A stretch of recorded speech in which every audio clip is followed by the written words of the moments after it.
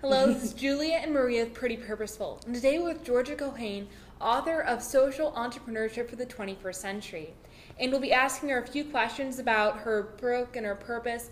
And she is very impressive. She's a fellow of the Roosevelt Institute, has a Harvard MBA, and teaches at Columbia University. Thanks for joining us. Thank you so much. So, our first question we have is kind of what advice you would give to nonprofits based off your book about how they can use different models from the private sector and apply that to uh, nonprofits and charities. So, first of all, thank you. Thank you for coming. Welcome to New Oh, York. yes, uh, welcome thanks. to the Roosevelt Institute. Uh, it's terrific to have you here. Um, uh, and I'm glad you found my book. Uh, Okay. Uh, and and um, I wrote a book about social entrepreneurship, um, which is a little bit hard to define.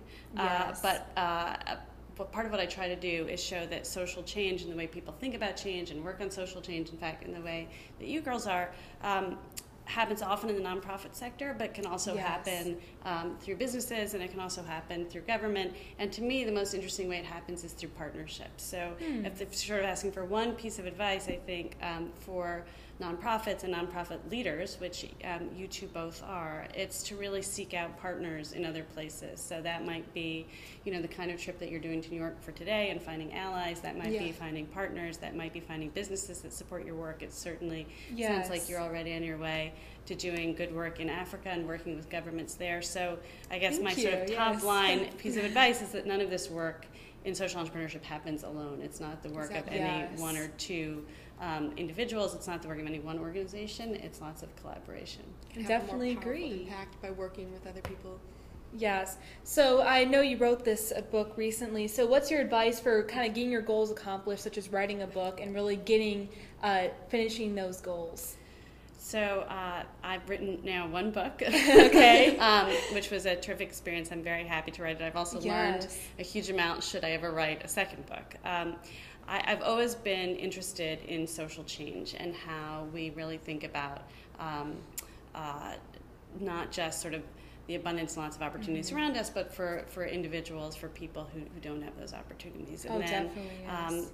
So I've been thinking for a long time throughout my career how you best address some of those discrepancies and how you use um, your own education or your own skills um, or your own experiences to bear on other people who haven't necessarily had those opportunities and those skills and those experiences. And writing a book is sort of one way to do that. Um, I had Yes. um, I'm not. Uh, haven't written a lot of books. I've written one, um, but I've sort of tried to get at some of those issues of, of poverty, of inequality in different ways through teaching, um, through advocacy work, which is the kind of thing we do at a think tank. Uh, and I had lots of ideas bubbling around in my head for, for several years. And a publisher approached me and said, "Do you want to write a book?" Um, uh, I love to write. Took me um, about two a year to two years all in. Um, and, and even though that wasn't a huge amount of time, it was, it was work that I had been working on throughout my career uh, in the private Yeah. sector um, and, uh, and in the um, nonprofit sector. Okay. Um, so I, th- what I've learned is that I, my, that my first piece of advice to you, which is find a lot of partners and allies, I didn't do as much of a good job of in writing the book, and I should Mm-hmm. Have I should have let other people comment on more of it, and I should have enlisted editors formally and more informally. But um, but there it is. Thank you for all yeah. the powerful work that you're doing to help inspire people.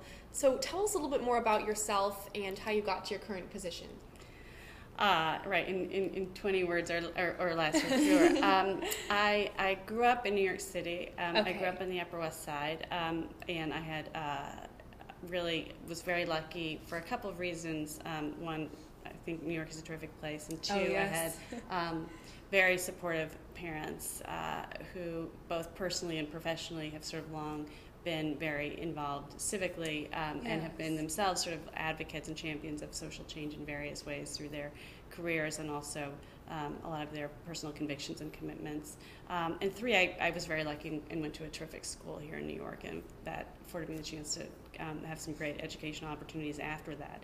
Um, I would say the reason I give that background prior to sort of my professional life afterwards is I think all of those really informed how I, how I thought about the world. So one thing about growing up in a place like New York City, um, for all its sort of magnificence, is that you're also Yes. really um, in close proximity to a lot of people who sort of who don't have um, access to a lot of the opportunities you do. And so um, I think between the clear opportunity to go to great school and having parents who sort of reminded me that a lot of what I saw around me really represented the real world and not necessarily Um, Yeah. Not not everyone necessarily had the chances that I did. It was instilled in me very early on um, that, uh, however I chose to pursue that, that it was sort of up to me um, to try to really um, cross some of those bridges um, and, and create opportunities for other people. That's great. Um, yes. So you have used my education. You know, I, a lot. Some people have a very linear career, and you Mhm. know, and they, they start life as a journalist, and they and they they stick at that, or they start life as a scientist, or they start life as a teacher, and they stay in that one path. And I've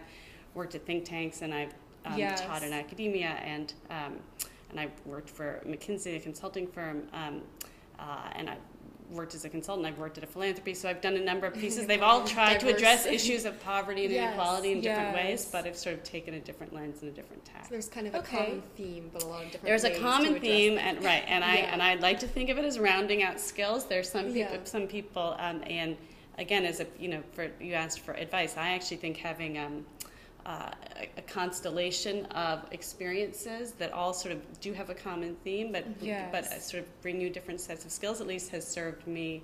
Um, has served me well and nicely, but I think some people also take a more linear approach. Yes. I know you currently work at the Roosevelt Institute. Mhm. So, what kind of uh, goals are you accomplishing with that partnership? So Roosevelt is, a, is an interesting place. It's a think tank, and a lot of people sort of outside. Of, sometimes people wonder, you know, what what is a think tank? And you just sit around thinking all day, you know, what, Yes. what exactly do you do? And and think tanks come in different stripes. Um, the Okay. Roosevelt Institute is a terrific place. It um, it has a number of pieces. Broadly speaking, um, it's an institution. It's a nonprofit, not Mhm. not unlike yours, that sort of honors the legacy of Franklin and Eleanor Roosevelt. And what that means specifically in the work that I do, um, in the think tank portion of it, there are other pieces to the Roosevelt work, um, is that we think about, broadly speaking, social and economic policy in the 21st century in contemporary terms, but in ways that tend to reflect the spirit and the legacy of Franklin and Eleanor Roosevelt, all of um, who worked on deeply on issues of sort of economic Yeah. and social rights and human rights. So- Uh, so we no, so a lot of so we do different things, and we, we um, and, and most think tanks too. But some of us write books, some of us write articles. Um, we host events. Yes. Um, but it's really very much uh, and try to influence public policy both in the short term and, and in the long term. Uh, and I try to merge some of that with my teaching as well because to me it's very exciting to think about. How, how younger be sort of a next Yeah. generation, and I'm even teaching students older than you are, but um, okay. sort of to go out and think of and, and think about the world and think about Mhm. again whatever careers and whatever sectors they decide to work in that they can actually um, really have positive influence and change in the world. So, what are some of your visions and future plans at this point? What are you looking forward to doing? Well, Is there another book in uh, the future? there, there, there may be another book. Um, I'm not sure. It, It's not imminent. Um, Yes. What I'm hoping to do, what I, what I uh, won't get too technical, but I, I'm continuing research in certain pieces of the book. So I think Okay. um, I talk. I, I mentioned sort of cross-sector partnerships. I specifically, um, I'm starting to work more on what I might call sort of innovative finance in ways that you can use philanthropy and, and commercial capital or sort of the capital markets and perhaps some interesting new public policy approaches to bring all of those to be- together to bear on things like infrastructure investment or things like affordable housing or even alternative um, energy in ways that you can Interesting. as yeah. you say, fundraise, but start to tap into different sources of funding.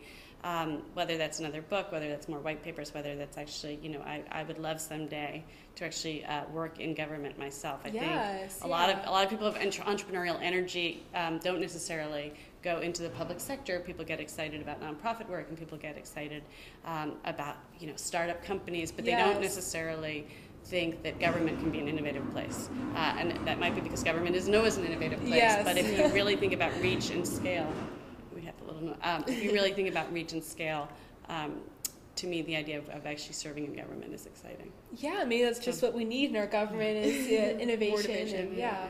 So, what advice would you give to other teenagers who want to follow in a similar path, or not other teenagers, but other teenagers like us? Thank you. follow in a similar path, or who want to be able to support you or get involved in your cause?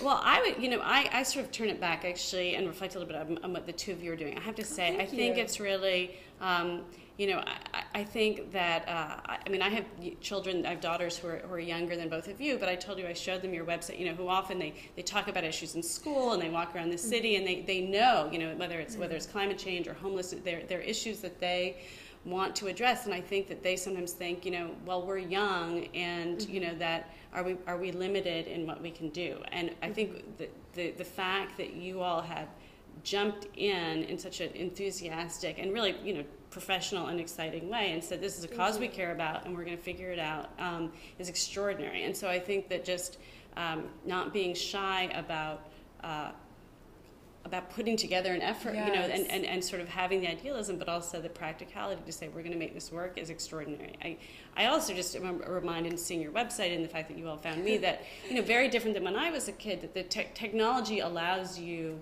in terms of reach and getting your message Oh, across and enlisting um, allies and friends that it, it, it's, it's really an extraordinary way to, you know, technology, tech excuse me, technology is just a tool. It's sort of not end in itself, but you all have really used it in a um, very purposeful um, and very meaningful way that I think is, is, is terrific. I also think, you know, if you have the chance, it sounds like you will, to actually go um, and visit some of the places and meet with some of the people that you're talking about, that having that, the human um, connection will be very instructive to Oh, you yes. to, to you and help you tell the story through their perspective, the, the women, the perspective of the women and the girls that you're meeting with.